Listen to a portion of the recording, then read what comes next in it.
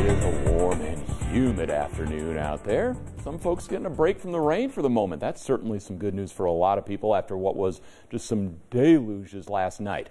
That is your Kentucky One Health Weather Bug camera located in Jessamine County at St. Joseph Jessamine there in Nicholasville, right off of Highway 27 bypass. You can see we've got sunshine out there, and when the sun came out, those temperatures really jumped up. The moment we've had a few thunder showers exiting out of southeast Kentucky. Pike County, Harlan County still seeing a little bit of rain, one of them up in northern Kentucky, but really for all of us right now, we are in the dry slot of the storm. That was not the case earlier today. We're going to go back again to about 6 o'clock this morning through about 10. You'll just see waves of rain following one right after the other, and the end result was a whole lot of water came down for some. You see in Frankfort, two and a quarter inches. That was over at the capital city airport. Uh, Mount Sterling had about you know, two thirds of an inch of rain. Lexington just under a half officially.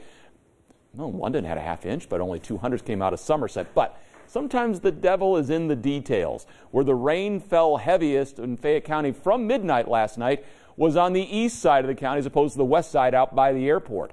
Chilesburg, 2.2 inches of rain not far from Jacobson Park. Winchester Road had over two inches of rain. Bryan Station was an inch and a third. East Hickman there along Tates Creek Road, 1.5 inches of rain. But Veterans Park, under an inch. Downtown was under an inch.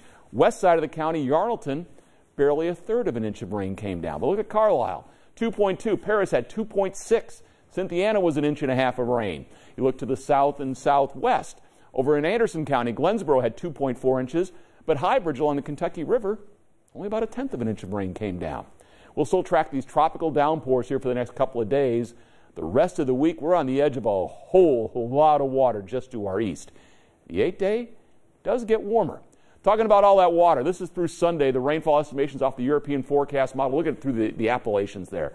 Three and four inch rainfall totals, but also how quickly you go from a whole lot of water to basically not much. So again, it's that close. Here's the setup. Bermuda High sitting out here in the Atlantic. It's scooched a little bit further to the west than where it was about a week ago. The big heat ridge out in the southwest with a trough in between. But if you notice, we go from Wednesday Thursday, that trough stays in place. That means the corridor of rain stays in place. But by the weekend, we start pushing everything back to the west a little bit, and our weather begins to warm up. So there's your surge of rain that came through this morning. There's a rotation back here. That's the upper level low. But again, that whole stream of moisture just keeps continuing.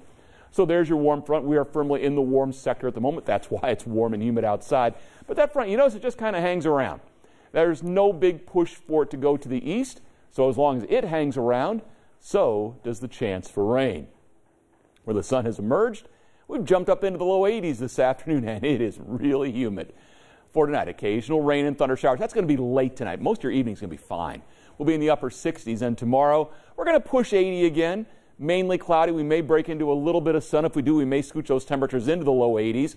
Rain chances start to decrease on Thursday as we get toward the weekend, we're going to keep at least a minor rain chance into Saturday. I do think most of your weekend is fine and getting hotter.